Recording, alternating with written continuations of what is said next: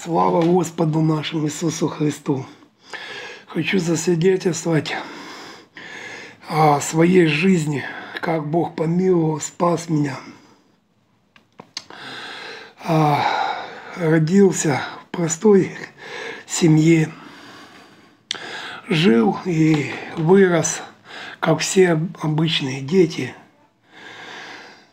И также попал в обман – на наркотик, и преступный мир. И в тюрьму, с тюрьмы на свободу, свободы в тюрьму, так и жил. И много было у меня как бы таких моментов, где доктора уже под... говорили, что тебя Бог живой остав... Живого оставил, потому что какие-то планы у Бога на тебя. Там мертвая корова у меня была. Бог забрал домой дома исцелил. Доктора приехали посмотреть домой, почему я не умер. А Божий Дух сказал мне, и мой Дух, мне очень больно было. Я просил, душа моя просила. Я был туда быстрее, я был туда, но знал, что не в хорошее место. Чувствовал, что ну, не в рай. И мой дух крутился, и с Божьим встретился и назад Бог вернул. Тебе еще место здесь не готово. И домой приехал, и дома меня Господь исцелил. Эти доктора приехали через 19 дней посмотреть, почему я не умер, по мертвая кровь была. Они мать домой мою отправляли. После того я жил, как жил. Умеру. Я верил, что Бог на небе, а я здесь. Я его люблю, он мне помогает. И еще была история, когда мне сонным горло перерезали. И мало того, что я устал, доехал сам в больницу, и этот хирург мне сказал, сынок, для чего-то ну, тебя Бог спас. Потом повторяю, что, ну, что, а он мне говорит, для чего-то тебя, сынок, Бог оставил на этом белом свете. Иными словами, у Бога на тебя какие-то планы. И опять же, я жил, как жил, точнее, в преступном мире, всеми этими, водился законами, грабежи, разбои, воровство, наркотики. И опять в тюрьму. И в тюрьме мне в зоне делали операцию. Я еще был там из братвы, не был я покаян. И мне Бог поднял меня на небо, показал мне – откуда я сюда пришел, это было, было море. Но это было не море. Море было как минеральная вода. Но это было не вода, это была жизнь. Она бурлила жизнь. И все мое понимание внутри меня говорили, что говорило, что это, что это я оттуда, я капля в этом море.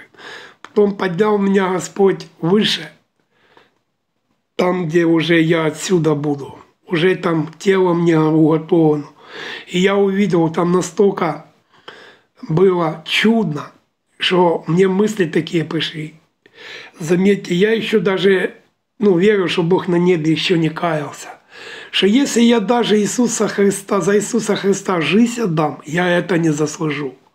Но мне голос сказал, такой голос, что каждая клетинка духа, понимание такое четкое сказано мне, что мне придется назад.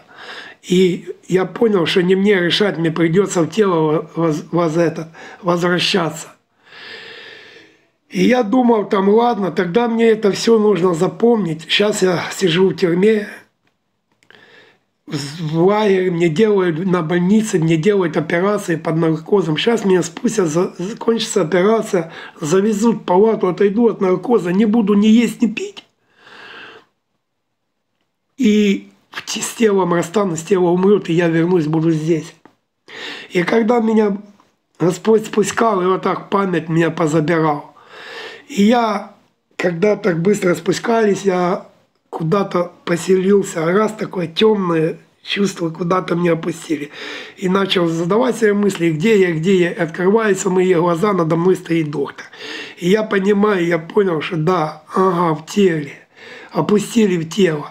И раз доктор увидел, я открыл глаза, и он мне опять, я, мне видно, видно было эта шторка, и рядом капельница. Один доктор все время смотрел на меня. И они в капельницу что-то вкололи, у меня закрылись глаза, и я до конца операции чувствовал э, боль притупленную, но не мог ни крикнуть, ни пошевелить ни рукой, ни ногой. До конца операции. И меня привезли в палату, я проснусь, я это все понимал. Я понимал и помнил, и до сегодняшнего дня. Я свидетельствую всем людям, что люди, Иисус Христос живой. Он не, не, не в церквах, нигде, как называемых, разделениях, там, харизматы, там, пятидесятники, православие. Нет. Иисус Христос, Он живой, Он у вас дома на кровати. Открывайте Библию, читайте Новый Завет, молитесь. Сейчас есть телефоны и интернет. Вы можете на видеосвязи с такими, как мы, в духе поклоняться. Бог ищет поклонников в духе живым. То есть не там, где религия, где попы или всякие разделения, названия там себе дали, и там деньги будут обманывать бедных людей, уводят от Бога.